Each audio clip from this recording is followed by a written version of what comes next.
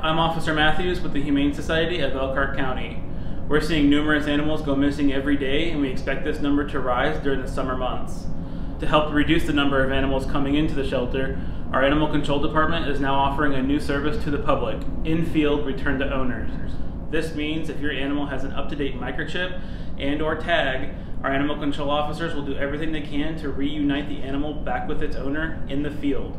There will still be a rabies requirement and a cost to this, but we hope this reduces stress on the animal and the owner.